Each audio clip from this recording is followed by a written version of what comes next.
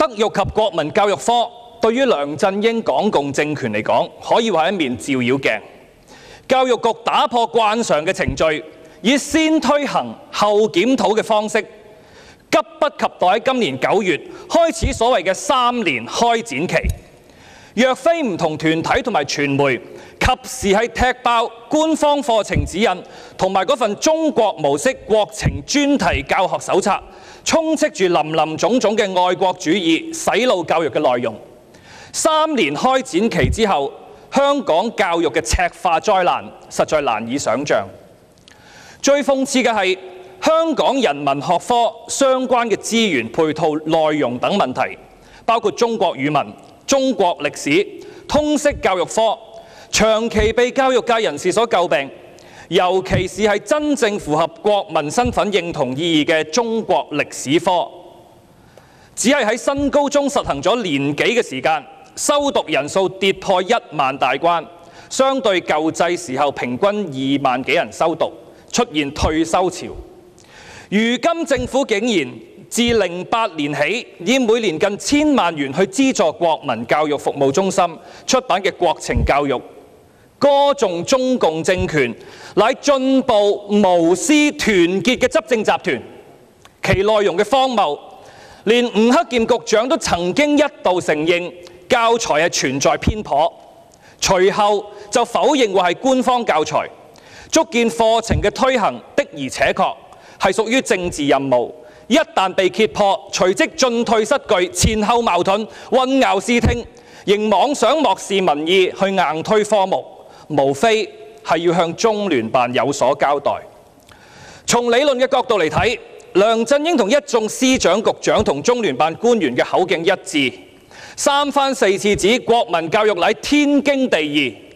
事實上，所謂嘅天經地義嘅國民教育，相類似推行嘅國家，只有新加坡。頭先有議員同事話唔係，好多地方都有，不過佢哋用唔同名稱、唔同形式，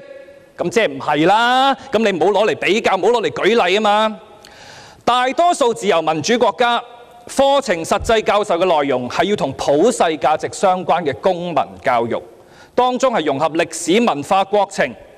同課程指引強調嘅國民教育、愛國主義、情感教育，可以話係南轅北轍。假如唔係連串嘅遊行、街站、絕食、包圍政總，使到港人醒覺，迫使政府先收回呢三年嘅開展期，再擱置課程指引，如此天理不容嘅染紅教育，恐怕咧就已經覆水難收啦。從實際角度出發，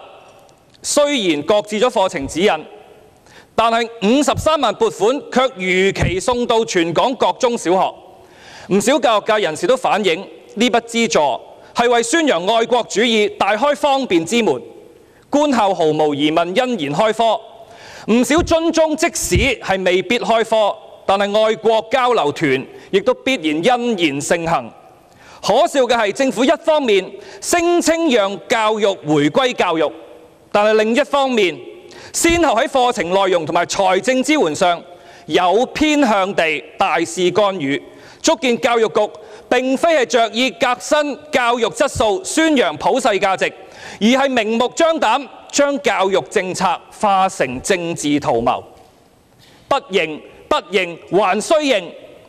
既然圖謀已經欲蓋彌彰，政府必須依附民意所向，撤回德育及國民教育科，將普及公民教育成為教育發展嘅里程，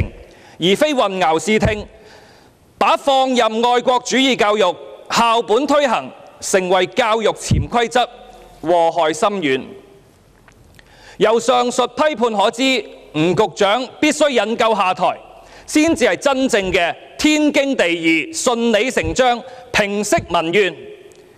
二零零二年，董建華推行所謂嘅高官問責制，實際上係高官包庇制。喺行政霸道、欠缺民主制度、民意基礎底下，梁振英極盡推卸責任之能事。吳克儉無恥嘅作風，完全係上梁不正下梁歪嘅寫照。吳克儉局長欲展開德育及國民教育，